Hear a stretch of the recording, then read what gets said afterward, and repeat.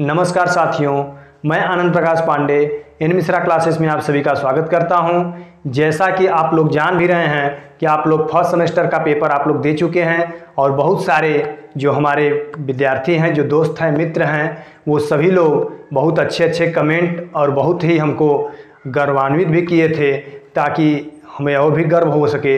आप लोग को मैं आशा भी करता हूँ, आशा भी दिला रहा हूँ कि जिस तरह से आप लोग अपना फीडबैक दिए कि नहीं सर, बहुत अच्छा आपने पढ़ाया था और एक एक टॉपिक मतलब हर एक टॉपिक से क्वेश्चन फंस गए थे, कोई पूरा का पूरा क्वेश्चन हमारे पेपर में आया था।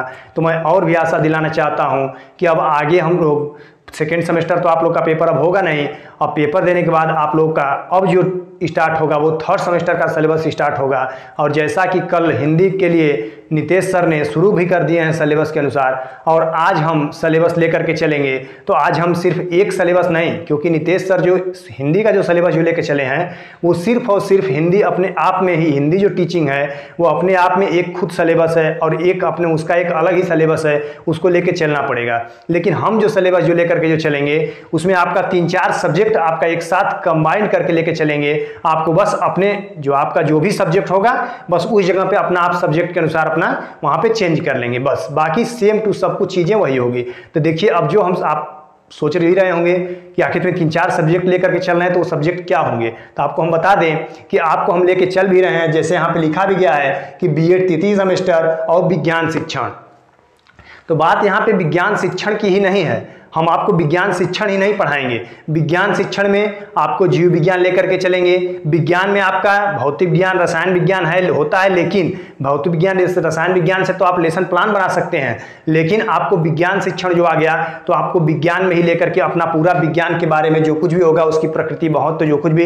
तो विज्ञान विज्ञान के साथ साथ आपका गृह विज्ञान और गृह विज्ञान के साथ साथ जो बच्चे बायोलॉजी से पढ़े होंगे, उनके लिए जीव विज्ञान। क्योंकि इसमें देखिए तीन पार्ट आता है। एक विज्ञान जो, क्योंकि हम आपको जब पढ़ाए भी थे, जब आपको पूरा सिलेबस जब डिस्कस जब कराए थे कि आपको किस किस सब्जेक्ट का चुनाव करना है बीएड थर्ड सेमेस्टर में, अभी तक क्या था फ़र्स्ट सेमेस्टर में कि जो कुछ भी आप कहीं से किसी भी आर्ट से पढ़े हों साइंस से पढ़े हों कॉमर्स से पढ़े हों, सभी लोग के लिए चार पेपर पढ़ने होते थे और सबको कंपलसरी था। लेकिन अब थर्ड सेमेस्टर में आपका वो विषय क्या हो जाएँगे? चेंज हो जाएँगे। आप बीए बीएससी बीकॉम जो भी किए होंगे, इस पर आपका वीडियो पिछले ईयर का मतलब अपलोड हो चुका है। कम्युनिटी टैब में आप जाइए, उसमें सर्च करिए। सबसे फ़र्स्ट ही कम्युनिटी टैब लगा हुआ है, उसको आप वहाँ पर जा करके सर्च करिए कि आपको किस मतलब आप विज्ञान वर्ग से हैं बीए किए हैं कि बीएससी किए हैं कि बीकॉम किए हैं, और उस अनुसार अपना एक सब्जेक्ट चूज़ करिए। अगर आप आर्ट आर्ट से होंगे तो आर्ट का सब्जेक्ट के साथ हिंदी आपको कंपलसरी आपको पढ़ना पड़ेगा और इंग्लिश उसके लिए, इंग्लिश की भी क्लास आपकी चलेगी।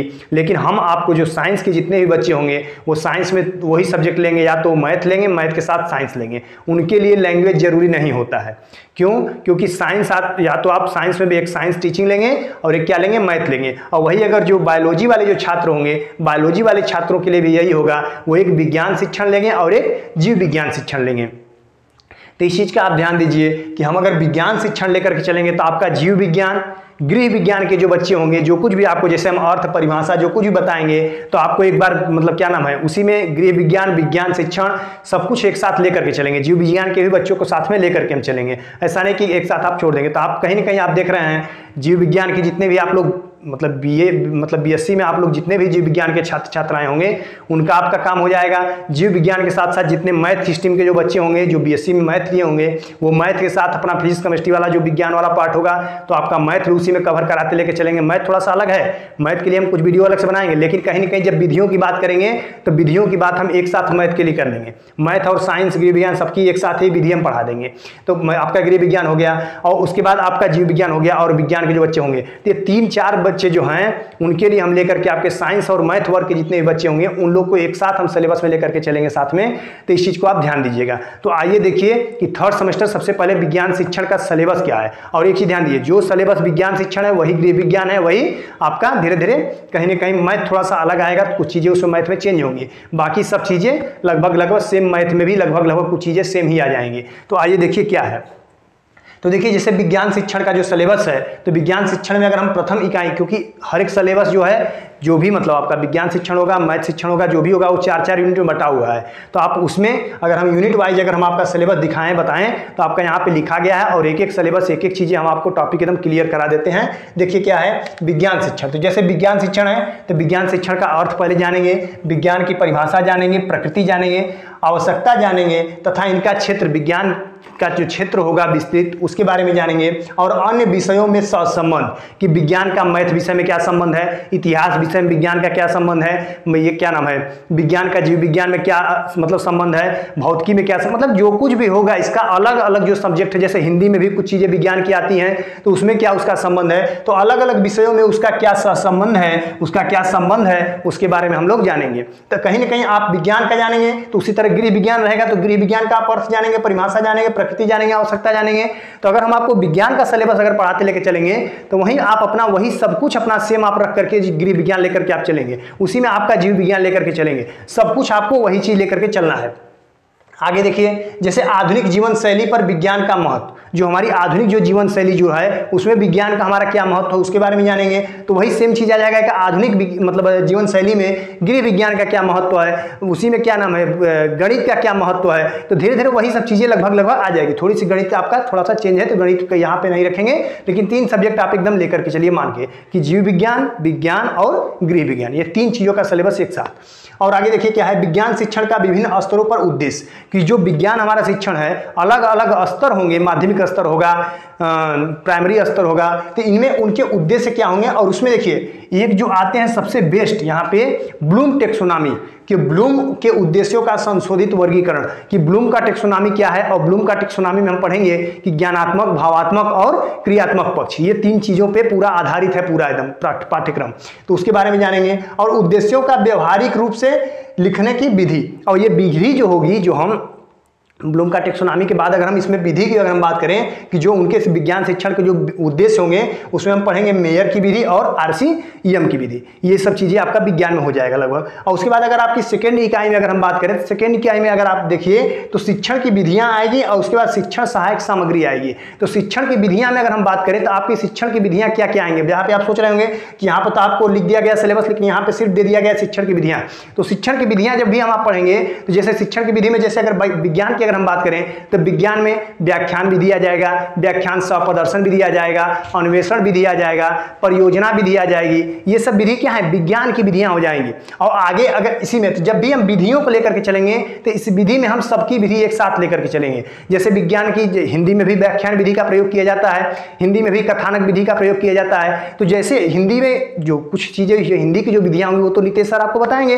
बाकी जो इंग्लिश में, अरे सॉरी जो विज्ञान की विधि जो होगी, जो गृह विज्ञान की जो विधि होगी, जो आपकी जीव विज्ञान की जो विधियाँ होंगी, जिस चीज़, जैसे प्रयोगशाला विधि हो गया, प्रयोगशाला विधि के माध्यम से सबसे ज़्यादा विज्ञान में प्रयोगशाला विधि ही माना जाता है। किसी भी चीज़, आप केमिस्ट्री पढ़ रहे हैं फिजिक्स पढ़ रहे हैं बायो पढ़ रहे हैं तो आपको प्रयोगशाला से सबसे ज़्यादा विधि मतलब प्रयोगशाला के माध्यम से आप किसी चीज़ को सबसे अच्छे से समझ सकते हैं। तो इस विधियों को जब हम शुरू जब करेंगे तो इन तीनों विषय में जो भी विधि आपको मतलब होंगी, वो सब की सब विधियाँ एक साथ आपको पढ़ा दी जाएँगी। उसके बाद अगर बात करें शिक्षण सहायक सामग्री तो शिक्षण सहायक सामग्री हम क्या यूज़ कर सकते हैं? तो शिक्षण सहायक सामग्री में जैसे दृश्य सब मतलब दृश्य सामग्री और दृश्य सब सामग्री और श्रव्य सामग्री। तो इस तरह से तीन प्रकार की सामग्रियाँ आती हैं। तो इसके बारे में जो शिक्षण सहायक सामग्री में हम किस किस चीज़ों का प्रयोग करेंगे, जैसे टीएलएम का प्रयोग हम कर सकते हैं। शिक्षण सहायक सामग्री में आजकल प्रोजेक्टर का माध्यम से पढ़ा सकते हैं। आप देख रहे हैं कि ऑनलाइन माध्यम से हम आपको पढ़ा रहे हैं। तो ये सब क्या है? ये सब शिक्षण की विधियाँ आ जाएँगी। तो ये कहें, अगर कहीं ना कहीं अगर हम एक चीज़ का अगर हम नाम दे दें कि श्रव्य दृश्य सामग्री। तो इसमें आपका सब कुछ आ जाएगा। तो आपके ये शिक्षण सहायक सामग्री में आपको मतलब सिलेबस में पूरा कंप्लीट हो जाएगा। तो यही आपका शिक्षण सहायक सामग्री गृह विज्ञान में भी हो जाएगा। उसमें हो सकता है थोड़ा सा अलग हो जाएगा। तो अगर जहाँ ज़रूरत पड़ेगी तो हम थोड़ा था उस सिलेबस को लेकर के आपको चलेंगे। तो आप कहीं ना कहीं तीन चीज़ें ये एक साथ लेकर चलिए। जैसे पाठ योजना की बात आ जाएगी।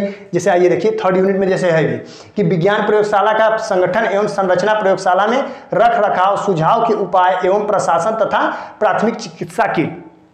कहीं ना कहीं आपका विज्ञान शिक्षण की अगर हम बात करें, जीव विज्ञान की बात करें, गृह विज्ञान की बात करें तो क्या करते हैं आप? प्रयोगशाला का सबसे ज़्यादा महत्व है यहाँ पे। आप जितना प्रयोग करेंगे, जितना किसी चीज़ के बारे में आप प्रयोग करके आप सीखेंगे, उतना ही आपके लिए वो क्या होता है? सबसे ज़्यादा बेस्ट माना जाता है। तो वही कहा जा रहा है कि विज्ञान प्रयोगशाला का संगठन एवं संरचना एवं प्रयोगशाला में रख रखाव जो कुछ भी वस्तु होता है वो रख रखाव उसको हम कैसे करेंगे? सुरक्षा, उसकी हम कैसे करेंगे प्रयोगशाला की? प्रयोगशाला में जो कुछ भी सामान होंगे, उनकी सुरक्षा कैसे करेंगे? एवं प्रशासन तथा प्राथमिक चिकित्सा, उनके कीट क्या क्या होंगे प्रयोगशाला विधि का हम प्रयोग करेंगे। आगे देखिए, क्या हो गया? विज्ञान पुस्तकालय का आवश्यकता एवं महत्व। कि जो हमारा विज्ञान जो प्रयोगशाला है, उसकी कितनी आवश्यकता है, उसका कितना महत्व है? जैसे अगर गृह विज्ञान की बात करें तो गृह विज्ञान में प्रयोगशाला कितना महत्व है? बायोलॉजी अगर बात करें, जीव विज्ञान की जीव विज्ञान में आपका प्रयोगशाला कितना महत्व है? तो कहीं ना कहीं आपका अगर महत्व की बात करें तो प्रयोगशाला में क्या क्या उनके महत्व है हमारे विज्ञान की विधि की?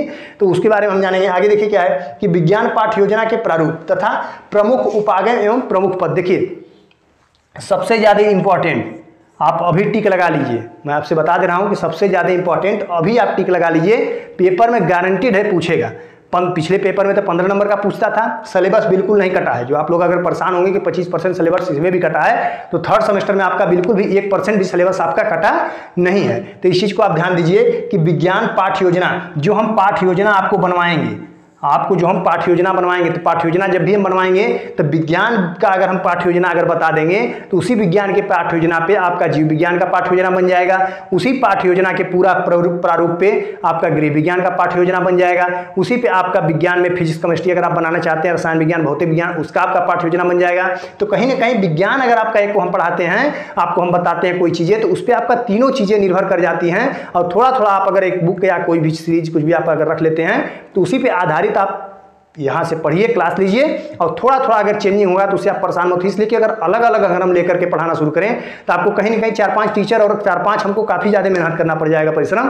तो इसलिए हमको करना क्या है कि एक चीज़ें विज्ञान आप पढ़िए और विज्ञान से समाहित ये तीन चीज़ें हैं तो आपका तीन चार सब्जेक्ट के जो भी बच्चे होंगे जो भी छात्र छात्राएँ दो, दोस्त मित्र हैं वो सभी लोग को फ़ायदा मिल जाएगा। तो आपका पाठ योजना जो भी होगा तो ये आपका एकदम गारंटी बता रहे हैं कि आपको क्वेश्चन पूछना ही पूछना है एक मतलब एक तो साठ में पूछ देगा और एक किसमें पूछेगा लांग में पूछेगा।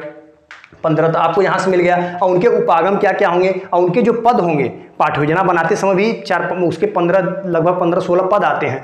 उनके पदों के बारे में हम पढ़ेंगे। और उसके बाद देखिए, अगर चौथी इकाई में अगर हम बात करें तो चौथी इकाई में फिर आता है लास्ट में। किसी भी चीज़ का, जैसे आप ही लोग क्या हैं? पहले आप लोग फ़र्स्ट सेमेस्टर में क्या किए? अपनी पढ़ाई किए पढ़ाई करने के बाद क्या हुआ? आपका पेपर हुआ। पेपर हुआ। पेपर का मतलब क्या हुआ? आपका कहीं ना कहीं उसका मूल्यांकन किया गया कि आप कितना, अब आपका जब रिज़ल्ट आएगा तो आपका मूल्यांकन करके बताएगा कि आप फ़र्स्ट सेमेस्टर में कितना पढ़े हैं। तो किसी भी चीज़ का आप पूरा विस्तार से पढ़ने या फिर किसी भी आपको काम अगर आप कोई कर रहे हैं तो उसका एक मूल्यांकन करना बहुत ही आवश्यकता हो जाती है, बहुत ही महत्वपूर्ण हो जाता है। तो इसीलिए हमारे विज्ञान शिक्षण या क्या नाम है, गृह विज्ञान शिक्षण या जो भी शिक्षण होगा, इसमें मूल्यांकन की भी बहुत ज़्यादा प्रमुख विशेषता मतलब महत्व हो जाता है। तो यहाँ पर इसकी बात आएगी कि इनका मूल्यांकन के आधार पर अगर हम देखें, मूल्यांकन कैसे हम करेंगे?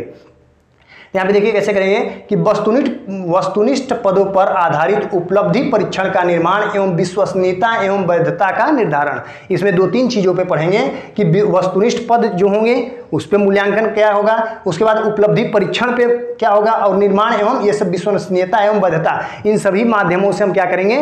मूल्यांकन करेंगे विज्ञान का।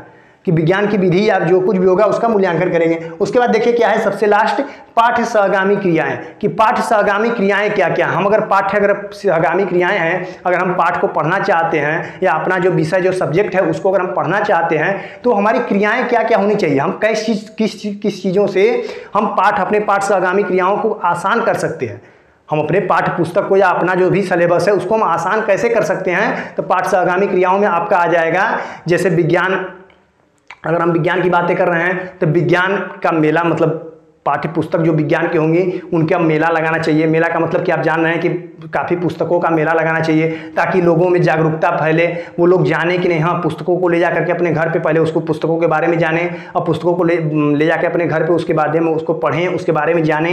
जैसे गृह विज्ञान हो गया तो गृह विज्ञान के पुस्तकों को ले जा करके तो कहीं ना कहीं मेला जब लगाया जाएगा तो लोग वहाँ पर जाएँगे, और वहाँ पर जा करके वहाँ उस चीज़ों के बारे में जानेंगे कि इस पुस्तक या इस चीज़ का, विज्ञान का क्या महत्व है। जैसे उनको प्रदर्शन प्रदर्शनियाँ करें, जैसे मेला एवं प्रदर्शनियाँ करें, उसका कहने क्या मतलब है कि एक, वहाँ पे एक व्यक्ति को ऐसा होना चाहिए जो कि उसको बताए, कोई अगर बुक है, या विज्ञान का ही बुक है, या गृह विज्ञान का बुक है, या जीव विज्ञान का बुक है, किताब है तो उसके बारे में वो बताए कि इसका ये महत्व है, इसको आप पढ़ेंगे या इसको आप ले जाएँगे तो इसके आपको ये ये लाभ हो सकते हैं। इसी, इस बारे में तो कहीं ना कहीं उसको मेला के माध्यम से विज्ञान का क्लब बनाना चाहिए, एक विज्ञान का क्लब बनाना चाहिए। उस क्लब में आपको बताना चाहिए, जैसे पर्यटन के माध्यम से विज्ञान के जो भी बच्चे होते हैं, उनको पर्यटन के माध्यम से उनको घुमाना चाहिए, घुमा करके कुछ चीज़ों को पाठ पाठ्यगामी क्रियाओं को जानने की, जानकारी उनको देना चाहिए। संग्रहालय, उसके बाद उद्यान का भ्रमण, आपको हो गया कि कहीं कहीं उनको भ्रमण कराना चाहिए, ले जा करके अलग अलग चीज़ों को दिखाना चाहिए कि विज्ञान की कुछ चीज़ें क्या क्या हैं। उसके बाद अवधारणा एवं मानचित्र, जैसे आपको अगर क्लास नहीं आ पा रहे हैं तो कोई एक मानचित्र को आप बनाइए, बना करके ले आकर के बच्चों को माध्यम सिखाइए। जैसे आप पौधे को बता रहे हैं तो पौधे के कितने भाग होते हैं? छोटे बच्चे भाई होते हैं। पाँच छः एक, दो, चार, पाँच छः के बच्चों को क्या है पता है? अब आप उसी पौधे को अगर आप फिगर बना देंगे, और फिगर बना करके आप बता देंगे कि ये जड़ है आपका? यहाँ से तना निकलता है, उसके ऊपर उसके जड़ मतलब पत्तियाँ निकलना शुरू होती हैं, उसकी डालियाँ निकलना शुरू होती हैं, पत्तियाँ हरी होती हैं। ये सब चीज़ें अगर आप समझा रहे हैं पौधे के माध्यम से, आप बना करके पूरा एकदम फिगर मानचित्र के माध्यम से तो ये सब क्या है? पाठ सहगामी क्रियाएँ हैं। उनके पाठ्य जो सहगामी जो क्रिया होंगी, उससे वो आसान हो जाती है। बच्चा बहुत तेज़ी से समझ पाएगा, उस चीज़ों को एकदम आसानी समझ जाएगा। अब आगे देखिए क्या है? मानचित्र के बाद कि उनके कुछ उपागम होते हैं। उन उपागमों के बारे में हम लोग अध्ययन करेंगे, जानेंगे। तो आप कहीं ना कहीं इस चीज़ का पहले आप एक बार स्क्रीनशॉट लीजिए। एक बार आप इसका स्क्रीनशॉट ले लिए। अब आगे देखिए, हम शुरुआत कहाँ से करेंगे? आप लोग परेशान मत होइएगा। आप लोग शुरू में, इसलिए कि कहीं ना कहीं आप इस सिलेबस को आप नोट कर लीजिएगा। और अलग अलग सिलेबस को आप, मैं बता रहा हूँ कि गृह विज्ञान और जीव विज्ञान सबका, ये विज्ञान का सिलेबस है, इसको आप नोट करिएगा। हम ले करके जब भी चलेंगे, आपको विज्ञान के माध्यम से लेकर के चलेंगे। लेकिन आपको नोट करके, आपको सिलेबस को मिला करके, और ये नहीं कि थोड़ा सा चेंज जो भी कुछ अगर चेंज होगा तो उसको आपको हम फिर से पढ़ा करके एक अलग वीडियो से लेकर चलेंगे। आपको एक नहीं, अब ऐसा नहीं कि अगर हम विज्ञान को लेकर चलेंगे तो फिर विज्ञान का अर्थ परिभाषा ये सब पढ़ाना होगा। हम यहाँ से लेकर के कुछ टॉपिक ऐसे चलेंगे, जहाँ से आपका ज़्यादा नंबर पूछता है। और एकदम गारंटेड है कि वो क्वेश्चन आपसे पूछेगा। वो देखिए क्या है। आपसे पहले तो ये बता दिए कि पंद्रह नंबर में क्या पूछेगा? पाठ योजना। पंद्रह नंबर में क्या पूछेगा? पाठ योजना। अगर पुराना, अगर पेपर पुराने प्रारूप पे अगर पूछेगा तो पंद्रह नंबर में पूछेगा। और एक अगर पाँच नंबर, चार नंबर में जो भी पूछता था उसमें तो ये गारंटी है कि पाठ योजना या उनके प्रारूप या उनके प्रमुख पद, कि उनके कितने पद होते हैं? अलग अलग पद। प्रस्तावना कैसे निकालेंगे? वो एक पद हो जाएगा ये सब अलग अलग जो पद होंगे उनके बारे में। तो एक तो यहाँ से फिक्स हो गया। दूसरी चीज़ आप कहाँ से पूछेगा? आपका शिक्षण विधियाँ। कि आपकी शिक्षण की विधियाँ क्या क्या होंगी? व्याख्यान विधि हो गया पाठा क्या नाम है, व्याख्यान विधि हो गया व्याख्यान सह प्रदर्शन विधि हो गया, अन्वेषण विधि हो गया, संश्लेषण विधि हो गया, ये सब जितनी विधियाँ हैं, ये विधियाँ हो गई, यहाँ से एकदम कन्फर्म क्वेश्चन पूछना है, ये सब गारंटी एकदम अभी नोट कर लीजिए। आपको एकदम गारंटेड एकदम पूछना ही पूछना है। दूसरी चीज़, शिक्षण सहायक सामग्री, कि शिक्षण की जो सहायक, जो सामग्रियाँ हैं, वो शिक्षण सहायक सामग्री क्या है तो ये तो मान लीजिए आपका ये सब पूछना है। लेकिन ये दो चीज़ें आपका शिक्षण विधियाँ और पाठ्य योजना। तो आप यहाँ से भी ध्यान दीजिए कि आपको हम अगर शुरुआत भी कराएँगे आपका सिलेबस जब भी शुरू होगा एक दो दिन, चार दिन में जब भी शुरू आप काम कराएँगे, अगर टाइम मिलता है तो कल परसों से ही शुरू करा देते हैं। तो आपका जब भी सिलेबस हम शुरू कराएँगे तो आपका यहाँ से शिक्षण विधियों से शुरू कराएँगे कि शिक्षण की कितनी विधियाँ हैं। और एक चीज़ ध्यान दीजिए, जब शिक्षण की विधियाँ जब शुरू कराएँगे तो आपकी उसमें कवर हो जाएगा कितना? आपको पता है, अभी तक तो सिर्फ़ तीन चीज़ें हो रही थी कवर सिलेबस लेके चलेंगे तो उसमें तीन चीज़ें होंगी। विज्ञान, गृह विज्ञान और जीव विज्ञान। लेकिन जब विधियाँ, जब हम शिक्षण विधियाँ जब लेकर के चलेंगे, इसमें आपका एक सब्जेक्ट और उसमें जुड़ जाएगा, वो है मैथ। जो मैथ के जो विधियाँ होंगी, उस मैथ की विधियों को भी हम लेके चलेंगे। दूसरी चीज़, फ़र्स्ट नंबर पे विधियों को हम शुरू करेंगे लेके।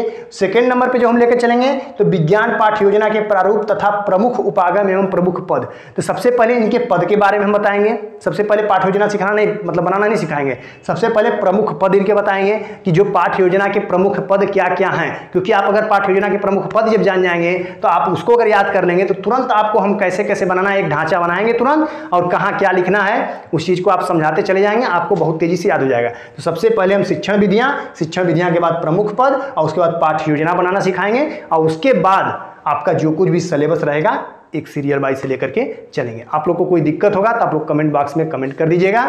वैसे क्लास हम यहीं से लेके चलेंगे।